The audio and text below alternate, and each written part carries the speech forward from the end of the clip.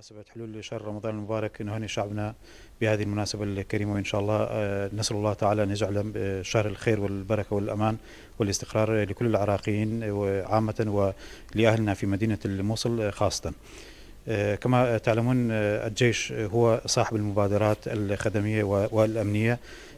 لاحظت قبل الخامس برعاية السيد الرئيس بحضوره وكذلك بحضور السيد نائب قائد عمليات المشتركة والسيد قائد عمليات آه، نينوى.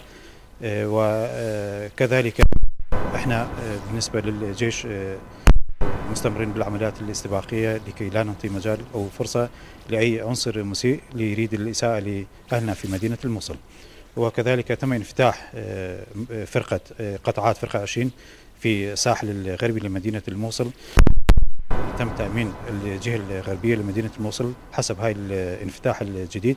آه، مسكنا قاطع البعاج وكذلك آه، وكذلك خط الصد آه، التي كانت يعني الفاصلة مع قيادة عمليات الجزيرة. وإن شاء الله نؤمن أهلنا في مدينة الموصل ونطمنهم بأنه لا يوجد تواجد لعناصر تنظيم داعش الإرهابي في مدينة الموصل وكذلك لا يستطيعون أن ينفذون أي عملية أو إساءة لأهلنا في مدينة الموصل. وشكرا لكم. نعم.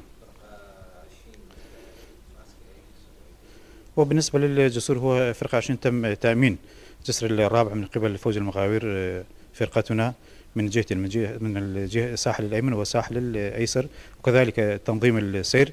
في هذا الجسر. وباقي الجسور هم لدينا يعني تواجد وكذلك جهد الهندسي مالتنا مستمرة لإدامة وتعزيز الجسور لمدينة الموصل.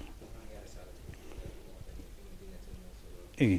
آه ندعو أهلنا في مدينة الموصل التعاون المستمر وكذلك آه آه يعني تزوينا بأي معلومات لأي عنصر مسيء داخل مدينة الموصل وإحنا إن شاء الله نطمنهم بأنه لا يوجد أي نشاط أو أي فعالية لتنظيم داعش الإرهابي في مدينة الموصل.